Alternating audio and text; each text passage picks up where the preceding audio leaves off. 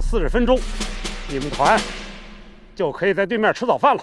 师座，我看用不了这么长时间，我已组织军官敢死队为全团打头阵，为全师的弟兄们做一个表率。你呀，总是能给我出点新花样。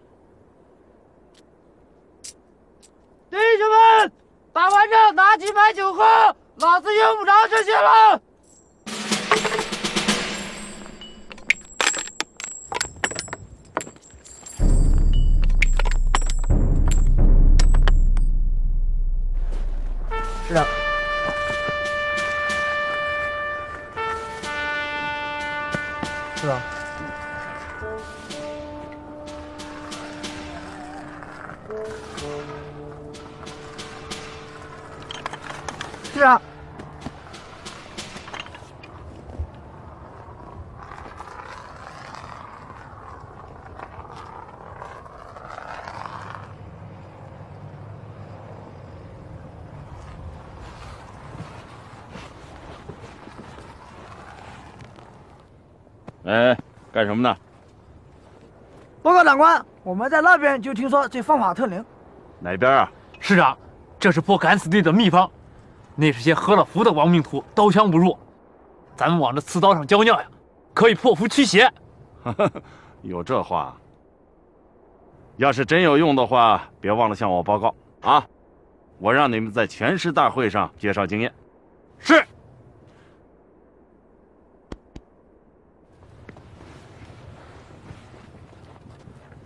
哎，班长啊，咱这可是上课真和气。嗨，那是咱师长的老规矩。我告诉你，每次恶战前呀，师长都要到这一线战壕上来视察一下，让你我都知道他就在咱们身边。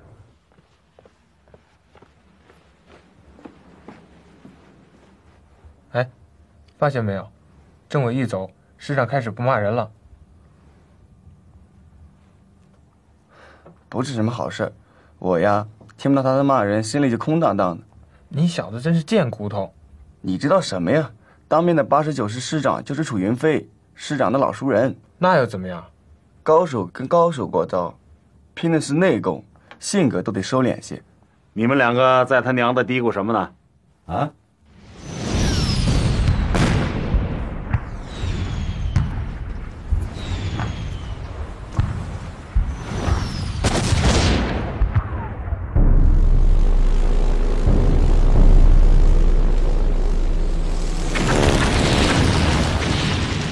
不见弹着点就对了，那是一片洼地，东西炮取，给我集中火力，打他的一线防御阵地。加农炮连再推进一点，能推多近就给我推多近，哪怕是架在敢死队的肩膀上，瞄准直射，给我打他的指挥所。喂，是，师长，邱长官这里说。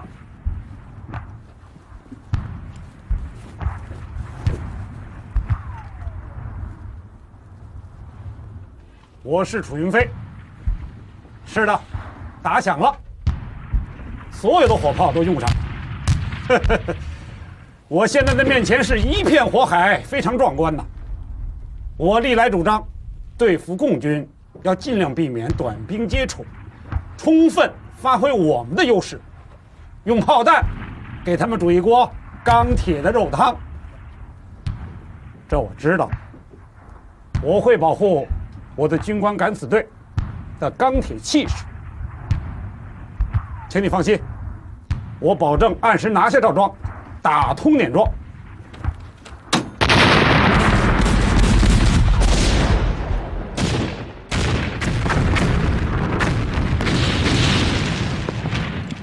长官，这么多炮火，咱再冲上去，那不成收拾队了？赶紧的，这炮火停吧，要不咱这三十块大洋太好挣了。楚师长的一片好意，咱别辜负了就行。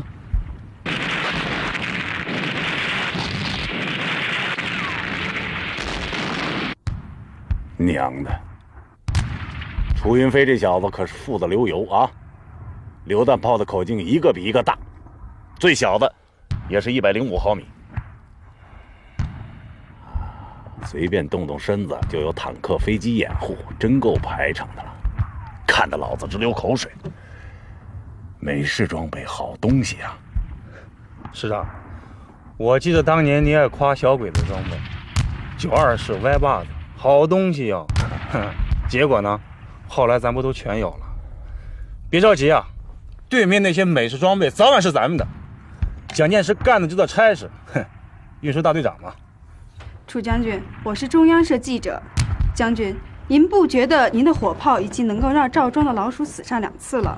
既然你的军官团以敢死队为荣，请问您为什么不给你的军官们以真正的表现机会呢？敢死队不是自杀队，我的军官团是自愿组成的，他们是出于对党国的献身精神。但是作为指挥官，我需要他们活着，正如麦克阿瑟将军所指出的那样。只有不怕死的人，才配活着。将军还是一个哲学家。这里没有哲学，只有尝试。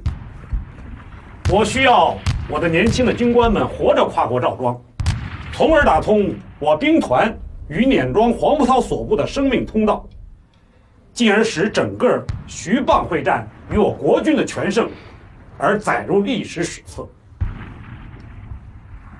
南丽小姐，采访到此结束吧。我希望在总攻发起之前，能够让我单独的待一会儿。谢谢将军。来，曼丽小姐，来，请。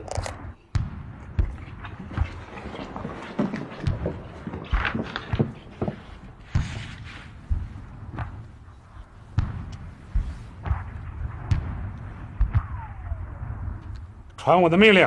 三分钟以后停止炮击，敢死队给我冲上去，收玉米。团长，到！敌人的三板斧轮完了，现在该轮到我们了，给我狠狠的揍他狗娘养的！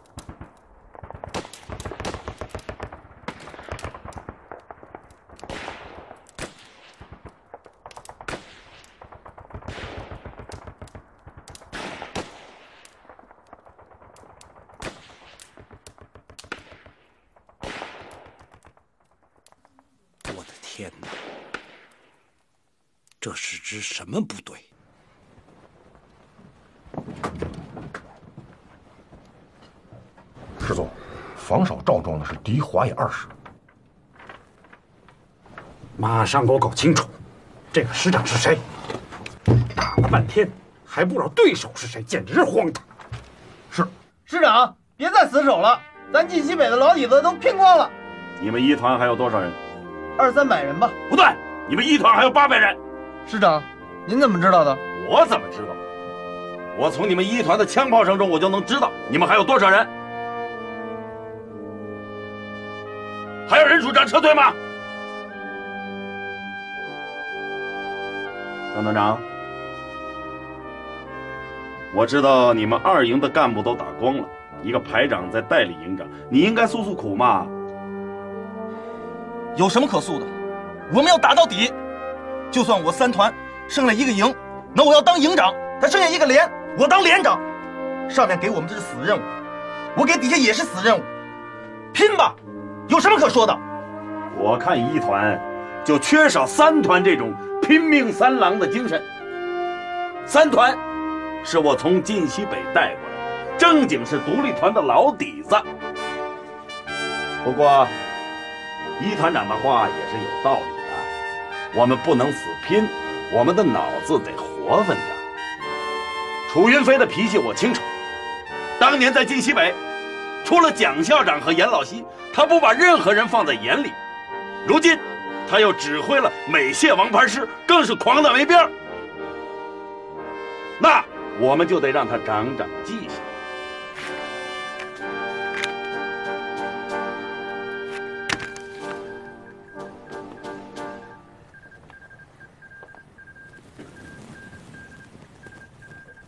此人会是谁呢？人比人得死，货比货得扔啊！当年咱们缴获了一门日本九二式步兵炮，乐得我一宿没睡着觉。我心里说呀，这回咱们打日本炮楼可有家伙了。可现在你再看看，日本炮和美国榴弹炮比起来，那真是差了一大截。这枪也没法比啊！抗战初期咱们缴获了几支三八大盖，就美的不行，跟美国枪一比，简直成了烧火棍。这些日子啊，咱们缴获了不少好枪，我是看花了眼。什么斯登式 M 三卡宾枪、汤姆森，火力又猛又轻巧。小鬼的装备啊，咱是看不上了。我正琢磨，咱们是不是派一支小部队渗透一下？目的是什么？弄几门榴弹炮啊！老子见了这东西跟见了美人似的，心里痒痒，猫抓似的。那玩意儿太沉了，就算搞到了也带不回来。是啊，这东西得用汽车拉。要不就试试，夜里侦察连要去抓舌头，让他们来个搂草打兔子，到敌炮阵地上去看看。嗯，告诉段鹏，抓个舌头不算本事，有本事给老子弄几门榴弹炮来，实在弄不到就把它炸掉啊！咱们弄不到，他楚云飞也别想要。我看可行，趁夜搞掉楚云飞的炮阵地，看他明天拿什么进攻，就这么办。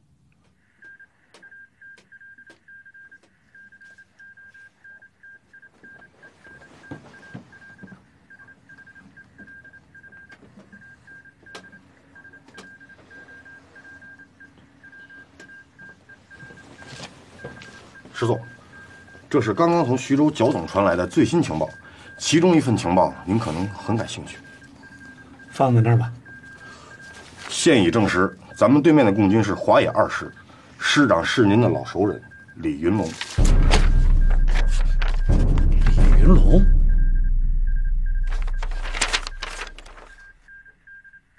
他也来徐蚌战场了。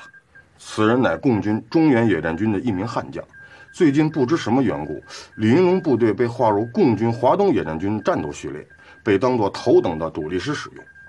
前些日子，黄百韬兵团的六十三军在姚湾镇被被困，中将军长陈章殉国成人，而最先攻入姚湾镇的就是李云龙师。云龙兄，当年的戏谑之言，不幸言中，你我终于。又在徐蚌战场上刀兵相见，真乃天意。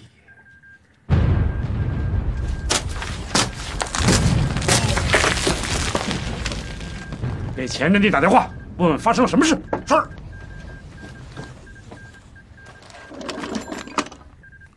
喂，前阵地吗？我是师指挥部，刚才的爆炸是怎么回事？嗯，嗯，好，嗯，我马上向师座汇报。嗯，师座，前沿阵地报告说，刚才有一股共军侦察兵抢我炮兵阵地，杀死哨兵，摧毁八门幺零五榴弹炮。那共军的侦察兵呢？跑了，还抓到了一名炮团参谋。传我的命令，把担任警戒的那个营长送到军法处，通告全师，今后再出现类似情况，责任人一律就地枪决，严惩不贷。是。哼，这就是李云龙啊！不光有大手笔，也能干点偷鸡摸狗的勾当。哼你属毛的你啊！你把我手挠得成这，你你瞧你瞧你瞧瞧！你既然是楚云飞的参谋，肯定知道楚云飞的火力配备。能在图上给我标出来。到底是楚云飞的手下啊，还挺有骨头。行了，我也不难为你了。既然来了，你别空手回去。你把这张地图给楚师长带回去，上边有我的亲笔签名，我们是老朋友了。拿着，带走吧，把他放了。不过要等到明天天亮。走吧，走吧，走吧。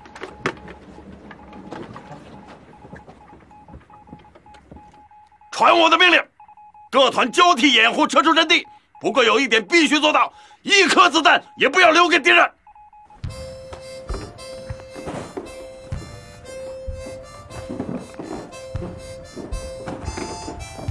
哎。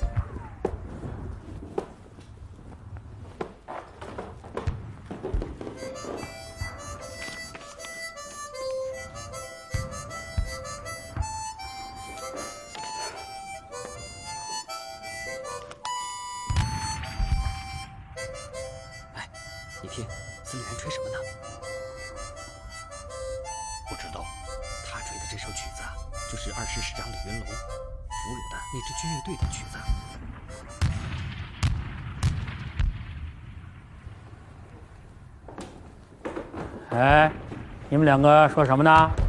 报告司令，我们刚才在说，二师师长李云龙俘虏了敌人一个军乐队，完完整整的，准备送给二纵副主任赵刚同志当做礼物。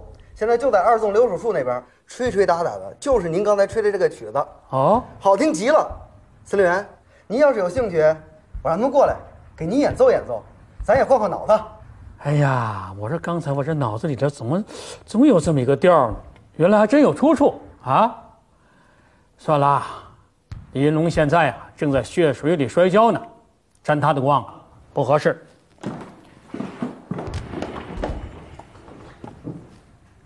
你们的表几点了？司令员，十点三十一分。这就是说，李云龙的二师在赵庄整整打了一天一夜，离我规定的时间还差三个小时。你看他能顶得住吗？这楚云飞的部队可是号称王牌中的王牌啊！哎，所以我给邱长官打了一张对对胡。你们看，我现在把李云龙撤下来。李云龙的二师是我从中野扣下来的，把他的老弟子打光喽，再见面不好说话呀。司令员，你可从来没有这么考虑过问题。开句玩笑嘛。但是我还是想把李云龙换下来。我的四个炮兵团已经到位，咱们的炮弹很充足。我看拿他们换下二师啊，很合算。嗯，去，去写命令，就一句话，拿五吨炮弹换下李云龙。是。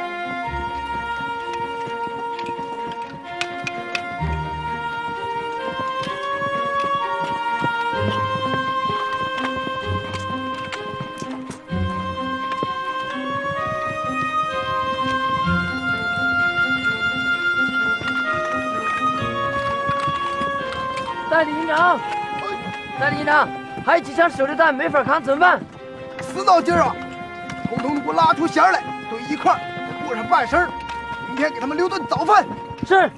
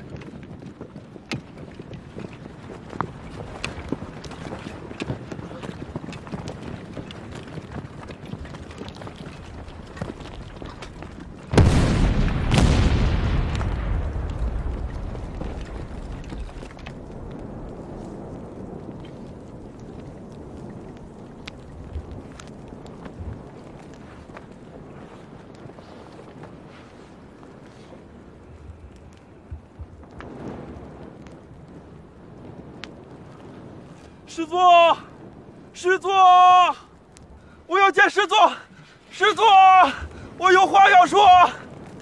师座，叫他过来。师座，共军李云龙让卑职把这个烧给师座。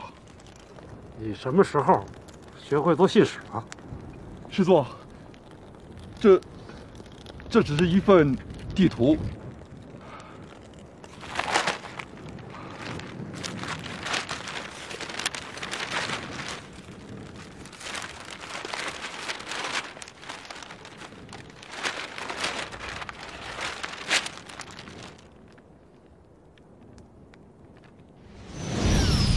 传我的命令！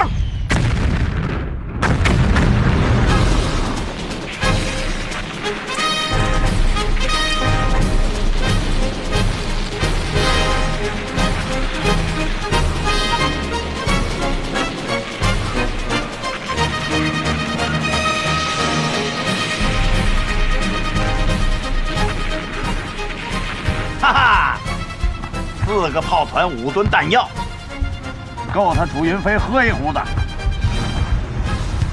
风水轮流转，也该他们尝尝挨炸的滋味了啊！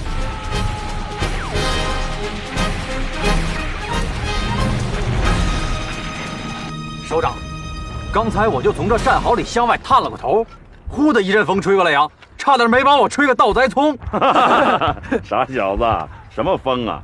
那是炮弹炸出来的气浪，啊！来来来，坐坐坐。哎呀，刚才啊，幸亏你站在战壕里，你要是站在外边，那气浪能像吹树叶一样给你卷到天上去。师长，这啥炮啊？咋这么大动静？这是美国的榴弹炮，这家伙可厉害呀！啊，一炸一大片呐，比小鬼子的山炮那可强多了。中原突围的时候，老子没见过这东西，不知道深浅啊。结果一开火，让人家给老子给打懵了，嘿嘿，就跟他娘的打雷似的，哼，差点没把我活埋了。是段鹏把我从土堆里刨了出来，就想刨出个山药蛋。哎，师长，那后来呢？当时把我给打急了，他娘的！我倒想看看这是什么玩意儿。要说炮弹，咋这么响呢？哼，就像有人拿着炸药包往你的脑袋上扔。咱是井底的蛤蟆，没见过天有多大，以为啊天底下所有的炮都像日本鬼子的九二步兵炮似的。我带着一个营，照着敌人的阵地就猛冲猛打过去了。总算缴获了几门榴弹炮。一营长当时就问我说：“团长啊，这是啥呀？这是炮吗？这怎么像大烟筒似的？上边还有洋马子。”师长，缴了几门榴弹炮，那不发财了吗？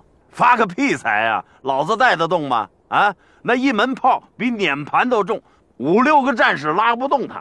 我一怒之下把他们全炸了。哎呀，可惜了，可惜，可不是嘛！炸药一响，我一下就坐到地下了，好像我有什么宝贝被炸了似的啊！这眼泪啊、鼻涕啊，全都流下来了。当时啊，咱们赵政委就劝我，说：“老李啊，你别心疼啊，我把话给你放到这儿，用不了三年，咱们也会使上这种榴弹炮。蒋介石有什么，咱们就有什么。赵仲宇说的还真准，现在不就使上了吗？四个炮兵团一起干，那以前我想都不敢想。不，报师长，炮火可以延伸。命令前沿部队，别让敌人喘过气来，给我冲上去，占领敌人的阵地。准。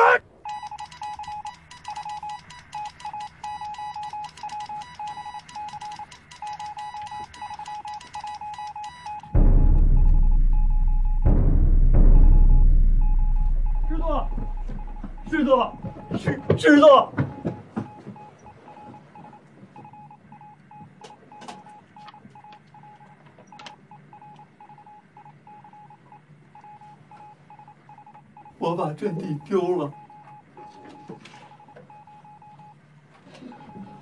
所有的责任由我来承担，请把我送进军法处。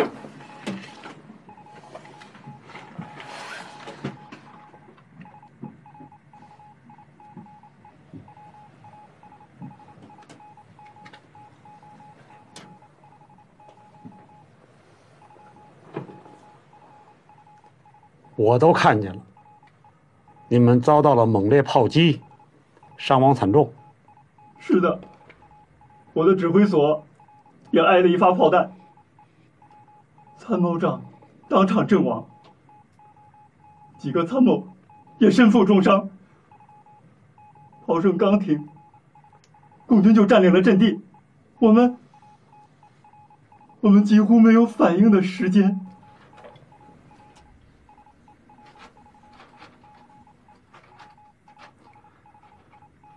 这次丢失阵地的责任不在你，你去医院好好养伤吧。有时间我会去看你。谢师座不杀之恩。去吧。是。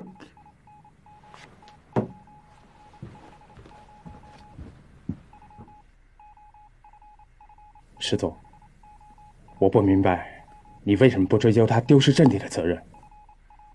道理很简单，我不可能把所有的军官都送到军法处去，否则的话，谁来指挥？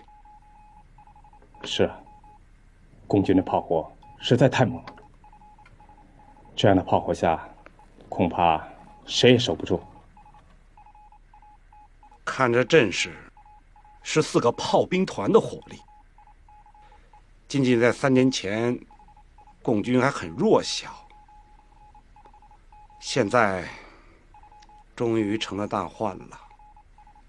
他们的火力几乎可以和我们对等了。我今天啊，不是来训话的，我是来和大家认识一下，顺便呢聊聊天我叫赵刚，论年龄呢，恐怕比诸位大一些。就算是个兄长吧，诸位都是我的弟兄，哎，都不要拘束啊！有什么话就说，有什么问题就问啊！哎，这位兄弟，你是哪个部队的？报长官，我是第五军的。哦。哎，你呢？报长官，我是十八军的。都是好部队啊！长官，真的这么认为吗？没错。我这么说是有根据的，就说十八军吧。淞沪会战时，和日军王牌部队十一师团在罗店交手，打出了中国军人的威风。六十七师师长李树森将军负重伤，二零幺旅旅长蔡炳炎将军阵亡，部队伤亡过半。可是十八军呢，没有一个部队擅自放弃阵地后退。没有一个士兵临阵脱逃。第五军也是好样的。当年血战昆仑关，和号称钢军的日军第五师团交战十三天，击毙日军二十一旅团少将旅团长中村正雄。就冲这个，我赵刚佩服。长官，你还记得这些？不光我记得，我相信。所有具有爱国心的中国人都会永远记住，你们在抵抗侵略、争取民族独立的战场上所建立的功勋，是谁也抹杀不了的。我刚才说了，第五军和第十八军都是优秀的部队。事情走到今天这一步，责任不在军人，而在蒋介石的独裁政府。抗战胜利后，各民主党派要求成立联合政府，通过广泛的民主选举，选出执政党，共同治理国家。可是蒋介石政府呢，要搞独裁，压制别的党派，在政治上搞法西斯式的统治，把中国变成警察国家，连社会名人的生命安全都得不到保障。闻一多先生和李公朴先生被暗杀，这就是个例子。在经济上呢，蒋介石政府要维护四大家族的利益，民不聊生，通货膨胀。这样一个独裁、腐败、黑暗的政府，难道不应该推翻它吗？古人说：“纣无道，起而伐之；庆父不死，鲁难未已。”弟兄们，现在是到了决定一个民族前途的时候了。每一个有良知的中国人都应该做出自己的选择。我赵刚的选择是：要民主，要自由，推翻独裁统治，打倒法西斯独裁政府，建立一个人民当家作主的新中国。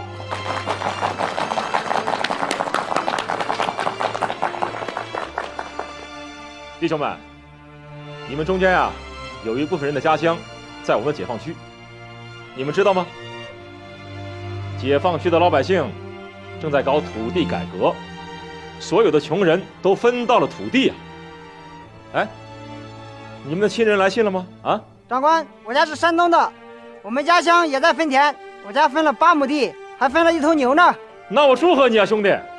你们家从此有盼头了，有了自家的土地。给座金山也不换呢啊！可是兄弟啊，咱们有了土地，人家蒋介石不干，总想方设法要给抢回去，咱怎么办呢？啊！那我就跟他拼命！说得好，我们要拿起枪保卫胜利果实，跟他拼命！弟兄们，我不勉强你们。现在有谁愿意回乡种地的？我马上给路费、开路条。有愿意留下来参加解放军的，我们一律欢迎。从今往后啊，我们就是兄弟、同志和战友。弟兄们，你们可以选择。长官，我们哪也不见，就跟着共产党干！报告，赵人，人找你。好，你继续说吧啊。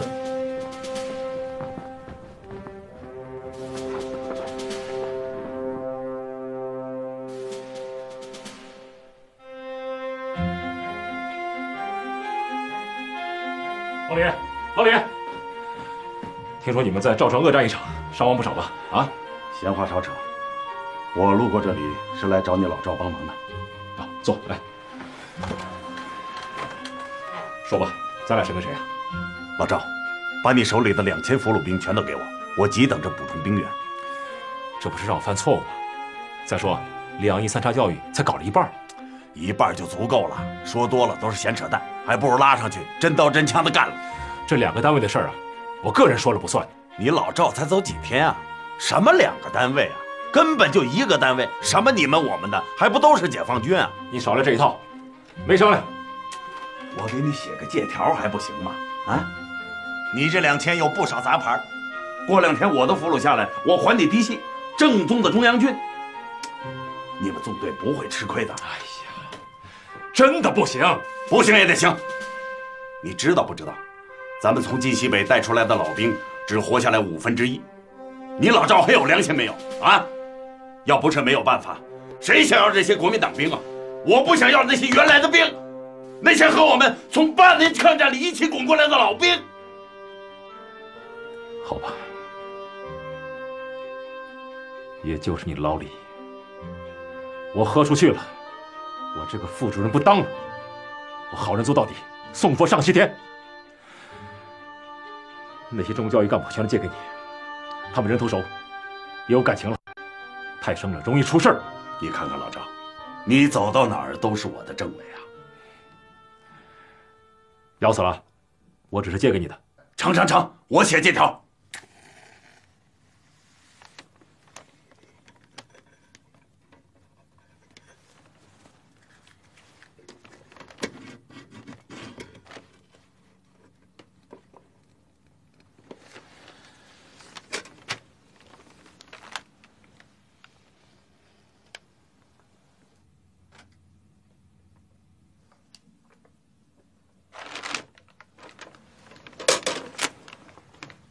师座，从图上看，似乎形势对我们不利。这是李云龙的疑兵之计吧？我怎么看，这不像是假图。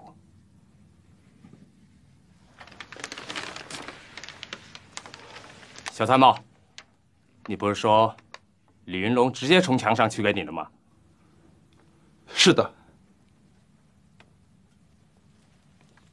你还好意思回来？师座，我可是什么都没有讲啊！拖出去，给我毙了！师座，师座，拖出去！是师座，不能啊！师座，师座，不能啊！师座，师座，师座。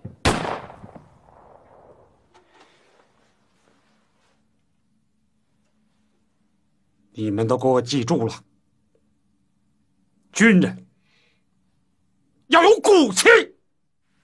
我楚云飞最恨的就是当俘虏的人。也只能将就了。新军装等打完了仗之后再发。刚才我听了你们代表的发言，你们大家都是苦出身马，和我李云龙一样。我李云龙在家原来是编筐的，就像歌词里唱的啊。卖盐的喝淡汤，编凉席的睡光床。听说你们有不少山东人，你们可以把信写到家去问问，家里分到土地没有？啊，没有分到的，那肯定是他娘的地主。农民嘛，有了土地就能过好日子，啊，为了咱们的好日子，你们得给我可劲儿的打老蒋。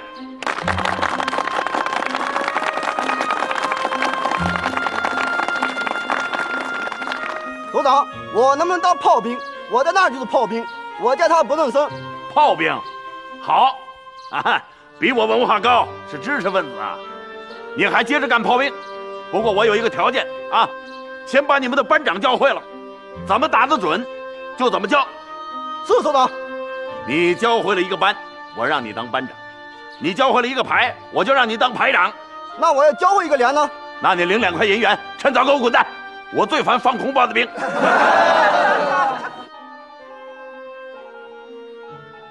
说完了。说完了。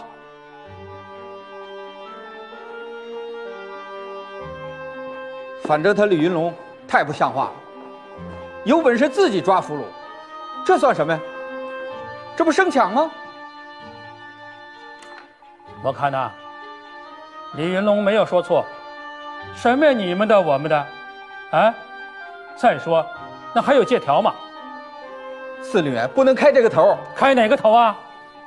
你那个师拿到赵庄试一试。李云龙为全局付出了很多了，那就不是一个抓俘虏的仗。你眼光不要太浅，以后我保证，你会因为俘虏太多而发愁。到那时候，你有多少粮食，就会有多少俘虏。你敢不敢跟我打这个赌啊？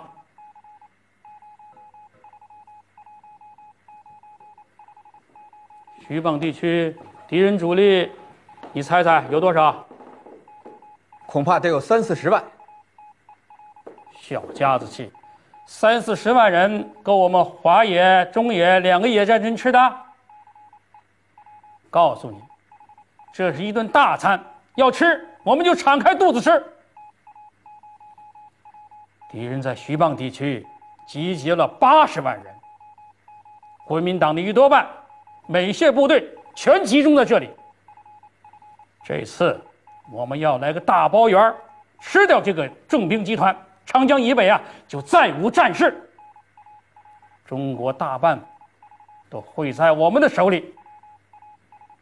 八十万人，这可我们发财了。是啊，能发大财的人，岂能算小账？司令员，我明白了，我保证，我们纵队要发大财，绝不算小账。明白了就好，记住，千万不要小家子气。是。张参谋长，和纵队联系上没有？还没有。不过两个小时之前，咱们的电台直接和野司联系，野司最后的指示非常明确，让咱们不怕困难，不怕疲劳，不怕伤亡，不怕打烂建筑，敌人跑到哪里，咱们就追到哪里。总之一句话，活捉黄伯韬，全歼黄兵团。哦，这个命令有点意思啊。那就是说，老子想怎么打就怎么打了，可以这么理解。那我现在掉头插到他楚云飞屁股后边去，捅他楚云飞的定眼儿，也是合理合法的了。这部队停止前进，后卫团改做先头团，捅他楚云飞的定眼儿去。师长，哈，这想法倒挺大胆的。不是大胆，是老子咽不下这口气去。告诉部队，动作要快，除了枪支弹药，其余的全都给老子扔了。然后转，后队赶前队，跑步前进，快！